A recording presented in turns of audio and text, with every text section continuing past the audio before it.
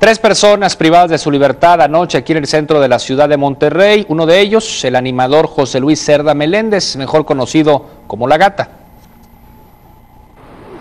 Gran movilización de agentes ministeriales se registró la noche de este jueves, luego de la presunta privación ilegal de la libertad de tres personas, entre ellos José Luis Cerda Meléndez, mejor conocido como La Gata, en pleno centro de Monterrey. Los hechos ocurrieron cerca de las 20:15 horas en el cruce de las calles Espinosa y Rayón.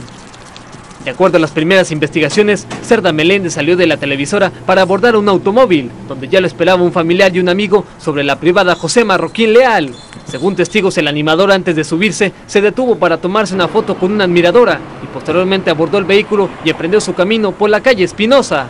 Apenas avanzó 100 metros cuando presuntamente hombres armados a bordo de una camioneta lo interceptaron a la altura de la calle Rayón, donde lo amenazaron y finalmente lograron detener la marcha del vehículo.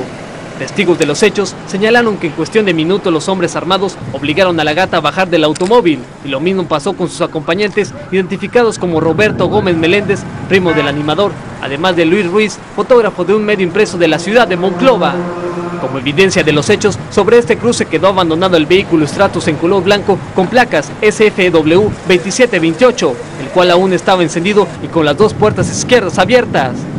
Tras el reporte, agentes ministeriales se desplazaron hasta este sector para coordinar la zona e iniciar con las indagatorias correspondientes. Minutos más tarde, personal de servicios periciales revisó el automóvil e informó que los asientos traseros localizaron una cámara de video y una laptop, mientras que en la cajuela localizaron ropa y artículos pertenecientes al animador. Hasta el momento aún no se cuentan con pistas para saber el paradero de los presuntos secuestradores. Miguel Jasso, Las Noticias, Televisa, Monterrey. Bueno, pues estaremos atentos y apegados a los reportes oficiales que se tengan acerca del paradero de estas tres personas, uno de ellos el animador conocido como La Gata, gracias a las personas que se han reportado con nosotros y que nos han enviado mensajes de apoyo aquí a través de las redes sociales. Son las 6 de la mañana con 21 minutos, en un momento